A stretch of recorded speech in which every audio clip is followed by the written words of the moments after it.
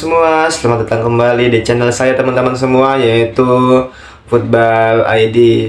Teman-teman semua jangan lupa dukung terus channel saya dengan cara like, komen, dan subscribe-nya agar saya selalu semangat memberikan berita-berita menarik seputar sepak bola.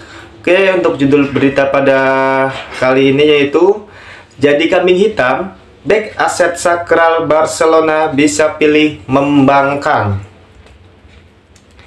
Bek tengah Barcelona, Ronald Araujo, bisa pilih membangkang meski dianggap aset sakral karena ia dijadikan kambing hitam.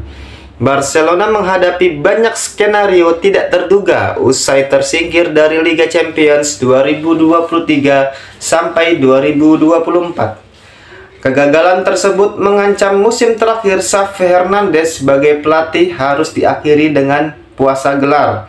Selain itu, Kekalahan 1-4 dari Paris Saint-Germain pada leg kedua perempat final juga memunculkan masalah baru.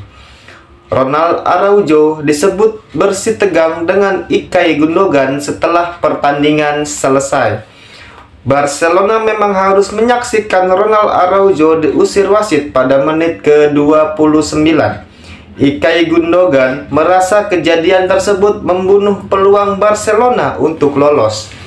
Kondisi Araujo yang menjadi kambing hitam ini bisa mengancam masa depan sang pemain.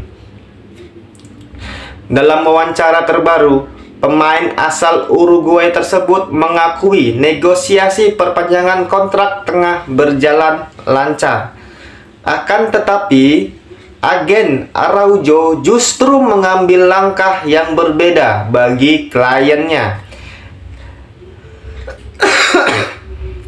Agen Araujo memutuskan untuk menjalin kontrak dengan Bayern Munchen.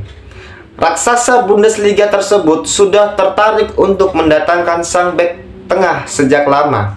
Namun, Barcelona menolak saat Bayern Munchen mengajukan tawaran pada bursa transfer Januari 2024. Kini, Bayern Munchen mengambil langkah lain untuk bisa mendapatkan bek idaman. FC Hollywood memutuskan untuk berusaha mencapai kesepakatan pribadi dengan Araujo terlebih dahulu. Setelah itu, Bayern Munchen akan mendiskusikan harga transfer Araujo dengan Barcelona. Araujo sendiri sebenarnya dipandang sebagai aset yang sakral oleh La Blaugrana.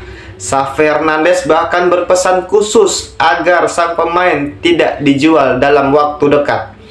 Kehadiran Araujo bisa menjadi fondasi yang bagus untuk membangun masa depan tim. Akan tetapi, perubahan manajemen yang terjadi pada akhir musim ini bisa mengubah nasib Araujo.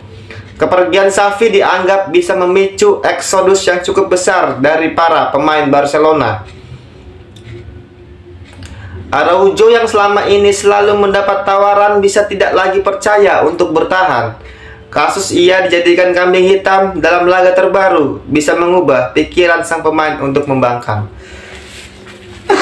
nah, itu dia berita tentang Ronald Araujo yang dikambing hitamkan di Barcelona.